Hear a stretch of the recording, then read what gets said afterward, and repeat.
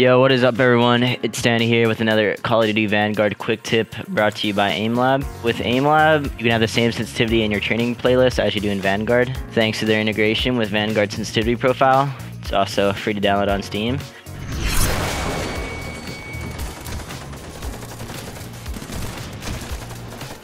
And here, I'm going to show you guys a tip where you can plant B-Bomb. You can have a ratty post-plant nerd spot if you want to play it.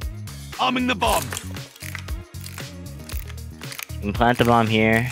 The bomb is set. This is a really good, like, ratty laydown spot. That you can hide here. You can also lay down right here, and you can hold this little cross. You can see if they go to bomb. And I like to lay it right here, so then you can see if they hop in the window, and you can see if they go towards the bomb. And that's the ratty spot. That's pretty good. You can't see bomb directly, but it's I think it's a really good spot. Really helpful. If you want to try it out, let me know if you use it. Left. Back right at the train right there. Top it, two top it, both top it. One left side, one, one more up there, Eli.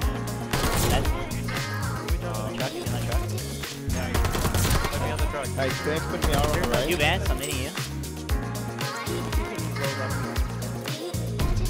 I'm gonna be under you, Hetty.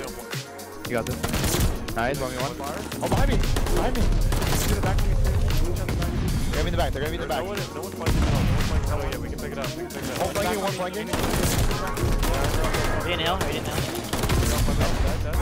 Oh, yep, top mid, like, top mid, like, drop it. Other left, yeah. Third left. Nice, mid. Okay, top mid. That's three, we're looking for